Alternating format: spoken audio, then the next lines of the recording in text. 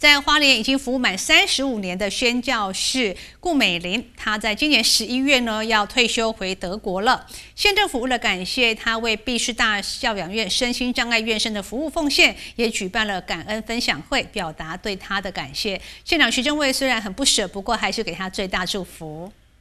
现在徐正表示，郭妈妈为毕师大教养院牺牲奉献的精神力量感佩，虽然不舍得让郭妈妈退休离开，但还是祝福她退休生活平安喜乐，也希望顾董事长退休后能够有机会再回到花莲与院生们大家相聚。为了以在大家的见证之下，将郭妈妈的博爱精神留在毕师大继续传扬下去，让毕师大教养院服务不中断，也让郭妈完全放心。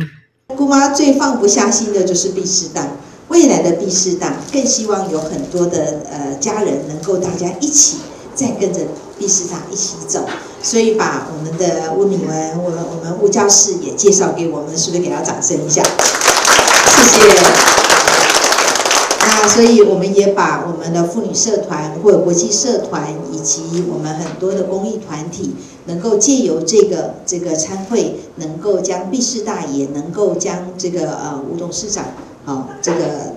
在顾妈妈的这个呃心头上，好让她能够放心，然后托付给大家毕师大在花莲让它更好。所以真为简短的呃简短的为大家说明今天。嗯，这个聚会的由来以及这个聚会的建这个核心价值在这里，好，所以在这里真会再一次感谢大家。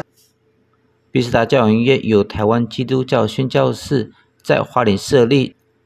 照顾小儿麻痹患者、多重障碍、唐氏症，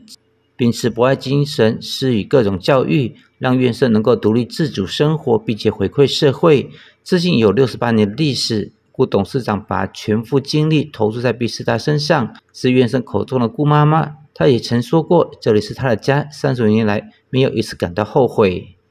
记得九一简上报道。